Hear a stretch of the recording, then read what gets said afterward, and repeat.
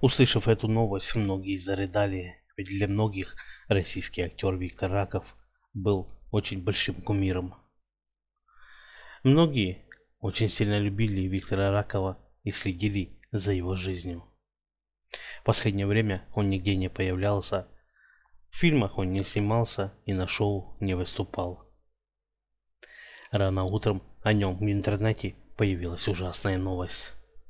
Оказывается, на данный момент Виктор Раков находится в одной из больниц города с тяжелой травмой головы.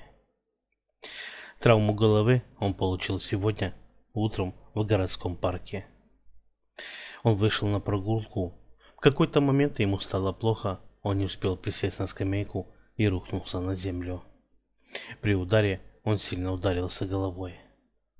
Прохожие помогли ему подняться, усадили Виктора Ракова на скамейку и вызвали скорую помощь, на которой его и доставили в больницу.